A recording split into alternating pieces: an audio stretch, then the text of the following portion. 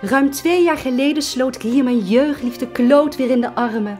Daar, voor het huis bij de hoofdingang, kuste hij mij. Een moment waarnaar ik meer dan 25 jaar had gesmacht. Vrij kort nadat mijn eerste man was overleden, kwam Kloot uit Engeland over om mij te zien. Toen was het net of de tijd had stilgestaan, precies als nu, nu we weer samen op Bekenstein zijn. Het is erg verdrietig dat vader nu niet hier kan zijn. Hij is te ziek om nog te komen. Juist de afgelopen jaren heeft hij de tuinen laten opknappen en uitbreiden.